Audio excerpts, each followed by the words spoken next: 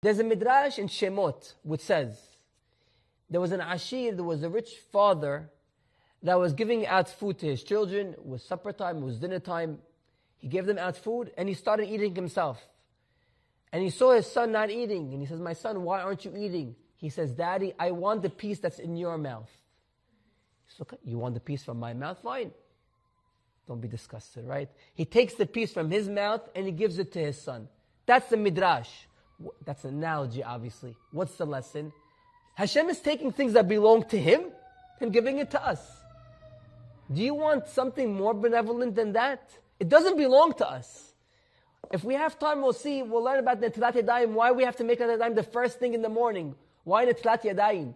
Because nothing belongs to us. If you ever think that with your hand you were able to get what you wanted, nothing belongs to you. Everything belongs to Hashem. It's as if Hashem is taking things from His mouth, kabyachol. He has no image, He has no form.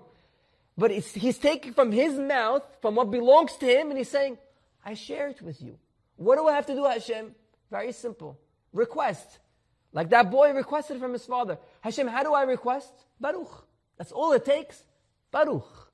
You say Baruch, in Arabic, there's a word fadal. You know what fadal means?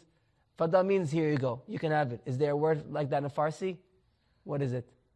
Um, it's too hard for me. Fadal, here you go. You can take it.